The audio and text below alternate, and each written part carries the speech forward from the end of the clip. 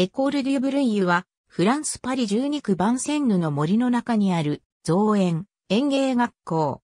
歴史ある学校で、第二帝政時代の1867年に、男爵ジョルジョ・ースマン・パリ市長によって創立された、国立高等園芸事業学校、エコール D、ホーティカルチャー ID アービカルチャーが、学校の前身。パリ市の樹木栽培部門発足に伴い設立。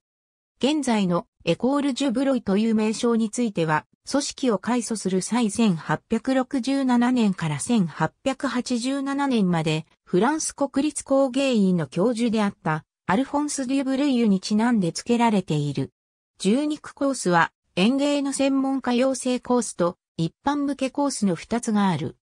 園芸の専門家養成コースは、ベパ、チェ、バックプロフェッショネル、ブラベットプロフェッショネル、ブラベットプリフィシャネルや CS、タイスワンオアーブラと、などの取得の一方で、パリ大学と提携し、ライセンスプロフィシアネルなどの関連国家資格取得を目指す過程ともなっている。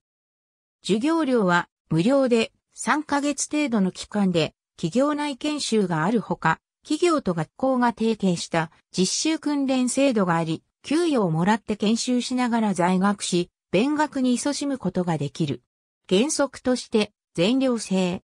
一般向けコースは装飾用の木と灌木における理論と実技のほか、アラカルトのコース、植物学のコース装飾用の庭園整備などが3時間で5回コースとなっている。エコールでペーザージュ。ありがとうございます。